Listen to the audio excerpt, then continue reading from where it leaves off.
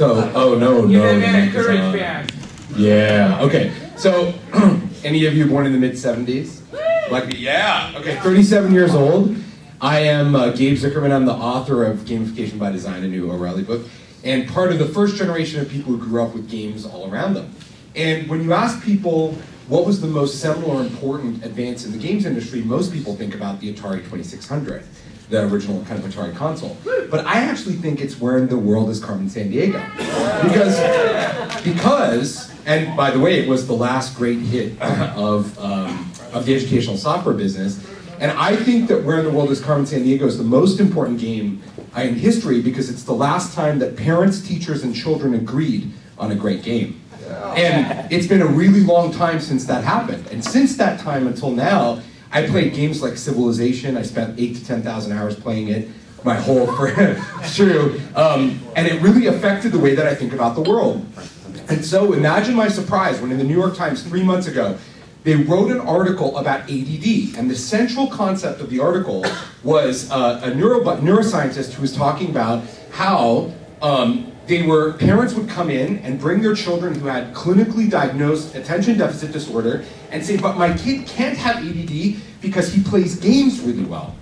He's really focused on games. And she trotted out these researchers who said, well, children who play games often may find the real world uninspiring because of the way games are and that they're not taught the right kind of attention skills and rewards. And I thought to myself, you know what? Maybe the problem isn't that our children have ADD. Maybe it's that our world is too fucking slow for our kids. maybe, maybe the insane multitasking that our children do today, playing games like World of Warcraft, you remember the games we had to play, the only thing I had to do was be able to manipulate a joystick and press a button. Right. Today, if you play World of Warcraft, you have to be able to manage six simultaneous activities at once, including operating your character, chatting with other people, and dealing with the constant interruption of your parents asking you if you'll eat something. it's an incredibly, incredibly sophisticated thing for children to have to do. And it points out something really interesting in research from Arne May at the uh, University of Regensburg which is if you give somebody a task to learn, in 12 weeks of learning a task, in the case of, in the maze case, it was uh, learning to juggle. If you give somebody a task to learn in 12 weeks, there will be a noticeable increase in gray matter in their brain in 12 weeks' time. And they redid the study in 2008. They did one in 2004, one in 2008. They redid it and isolated. It is not the quality of learning, it is the act of learning that causes your gray matter in your brain to increase in a marked way. It is a shocking, shocking result. And it's especially interesting when we connect that with the concept of fluid intelligence. Andrea Kuszewski, lecturing at Harvard, talked about how to increase our fluid intelligence. That's our ability to answer, to problem solve and answer questions. And she described a few different things that we could do to seek novelty, to challenge ourselves, to think creatively, to do things the hard way, and to network. These are the things that she describes to increase our fluid intelligence. If you play video games, you'll immediately recognize these are the core assets of a video game. This is the main thing we do when we play video games, which is constantly be exposed to challenges of all kinds. It may finally explain a concept called the Flynn effect.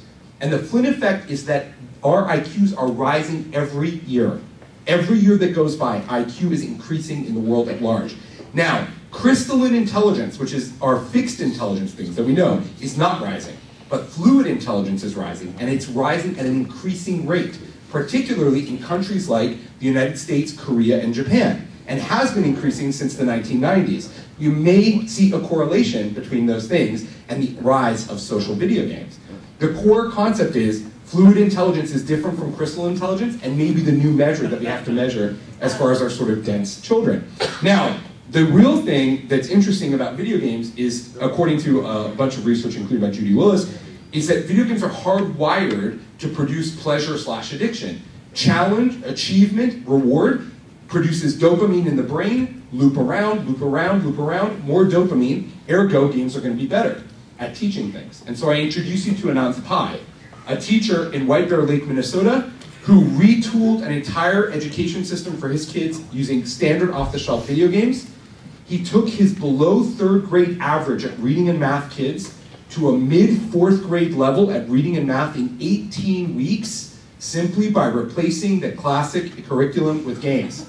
It's also true that while violent video games probably don't make our children violent, we have to accept that they train them to be better at violence if they were naturally predisposed to do so. And it's true, we just have to accept it. Like, I'm not going to be apologist for this. We have to accept that they're great training tools.